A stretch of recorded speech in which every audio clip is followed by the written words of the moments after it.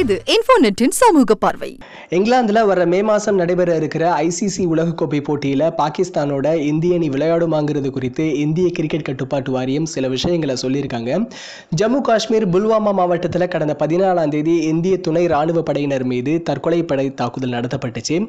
இதுல நாற்பது வீரர்கள் கொல்லப்பட்டாங்க. இந்த தாக்குதலை தொடர்ந்து இந்தியா பாகிஸ்தான் ரெண்டு நாடுகளுக்கு மத்தியில் பதற்றமான சூழல் நிலவுது. இந்த சூழல்ல உலகக்கோப்பை போட்டியில இந்திய அணி பாகிஸ்தானோட அப்படிங்கிற கேள்வி எழுந்திருக்கு. இதற்கு பிசிசிஐ என்ன சொல்றாங்க அப்படின்னா உலகக்கோப்பை போட்டி நெருங்குது. இன்னும் சிறிது நாட்களுக்கு பின்னாடி சூழல் தெளிவாகும். ஆனா போட்டி அட்டவணையை மாற்ற முடியாது.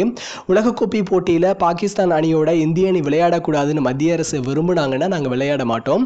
ஒருவேளை பாகிஸ்தானுக்கு எதிரான ஆட்டத்தில் நாங்க விளையாடாம போனோம்னா நமக்குரிய புள்ளிகளை இழக்க நேரிடும். இதனால உலகக்கோப்பையை அவங்க வின் பண்ணிடுவாங்க அப்படின்னு சொல்லியிருக்காங்க. மேலும் இது போன்ற சமூக நிகழ்வுகளை தெரிந்து கொள்ள லைக் பண்ணுங்க கமெண்ட் பண்ணுங்க ஷேர் பண்ணுங்க.